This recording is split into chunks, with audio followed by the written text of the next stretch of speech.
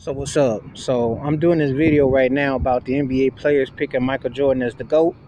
And I'll be doing other ones about the NBA players polls, which I find to be comical because sometimes I just think these NBA players are saying things that people want to hear.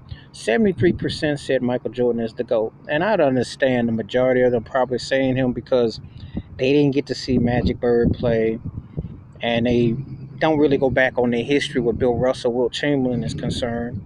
So, or Oscar Robertson, because ain't too many of them know anything beyond a certain era, and some of it is because of time period, but also some just don't. They don't go back. But when you leave a Shaquille O'Neal off, then I know there ain't much going on in Tim Duncan. You know, come on now.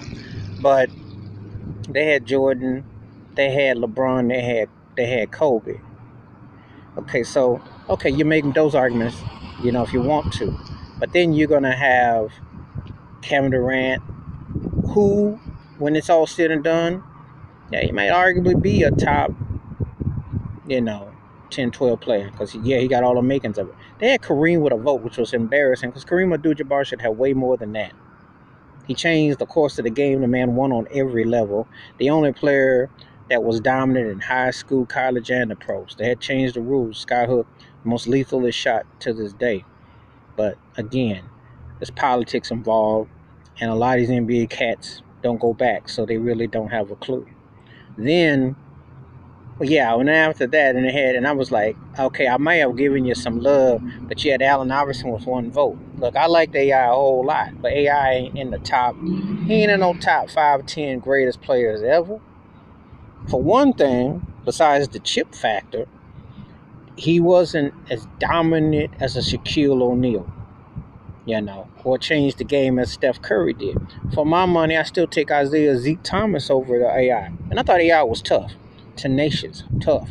But I can't sit up here and do uh, We're talking about a buyer we're talking about careers, or we're talking about somebody that we personally like. But again, I don't be trusting these NBA players polls you know, I'm not surprised though. They were asking because they've been slurping LeBron James like 7 Eleven like a big gulp, and they're all surprised that LeBron got waxed when it came to Jordan comparison. So, well, like, come on now.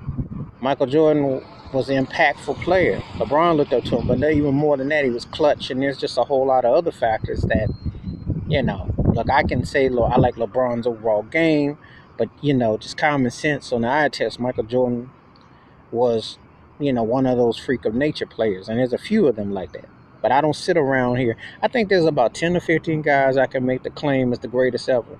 And I, and I think the rules didn't change too much, or it's too tough to sit there and say, well, this guy, because again, you're looking at different rules. Where's Wilt Chamberlain at?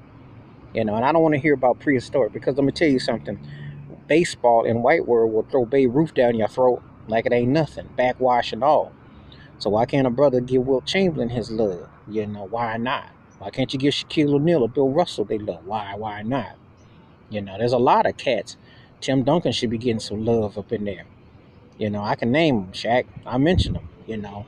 So, you know, but anyway, that's my take about those NBA players picking Jordan as the greatest. Feel free to leave those comments. Hit that subscribe button.